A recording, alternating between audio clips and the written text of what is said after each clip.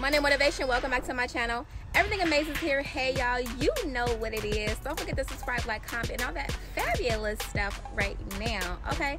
So today I want to talk about currency. Your talents equal currency. Have you been using your talents for free and not maximizing or leveraging what you are worth? Ask yourself. Which means God has given you talents to put out into the world, but not for free. Today is the day that you stop giving, using any talents that God has given you for free 99. It might be with your friends your family, a couple one offs, but enough is enough. Start charging, okay? Consider all the time and the talents that you have been using for free. If you are dope at that thing, whatever it is, start charging today.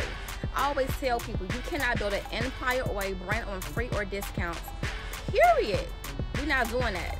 Your talents are so valuable, so you have to cherish them and what God has placed inside of you. Your talents equal currency, and no one can take that away. Talents equal currency. Start charging. Happy Monday. Let's get it. Don't forget to subscribe. Love y'all. Bye.